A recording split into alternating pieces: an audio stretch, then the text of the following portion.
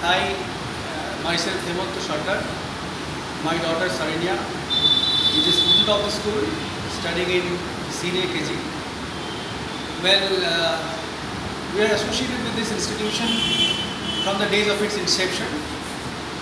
Uh, coincidentally, my daughter is the first student who got enrolled in this school and it has been a wonderful experience to watch our kids grow up here, the way they are being groomed in this institution, uh, this beautiful place school, with the loving and doting care of their, uh, of their mentors. Uh, you know, children are like uh, living jewels dropped on the feather.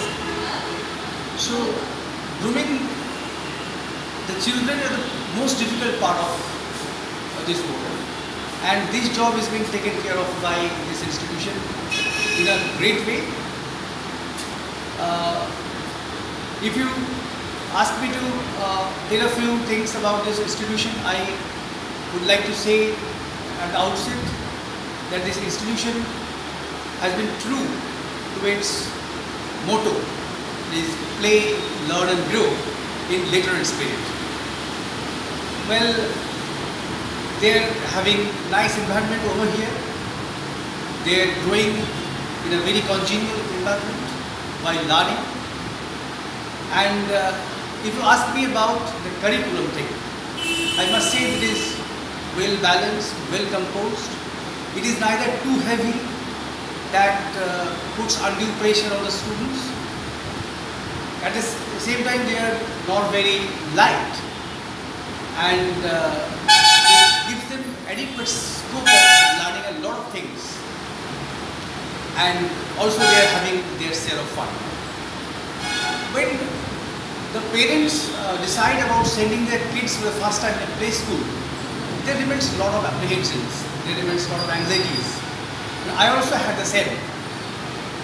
But in these uh, over two and a half years, Little Laureates School has never given us a single scope where we can say, no, where our kids are not safe our kids are not happy there.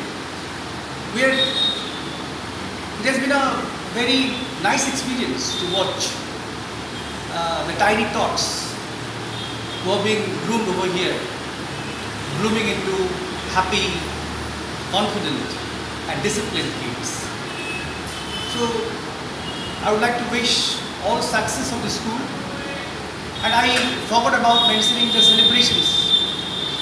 Be it Holi, be it uh, Rath Yatra, be it Christmas, be it Father's Day or Mother's Day, they take very uh, tiny care about introducing our uh, kids to each and every celebration and they try to get acquainted, try to get the kids acquainted with the different customs and cultures of our society, of our state as well as our country.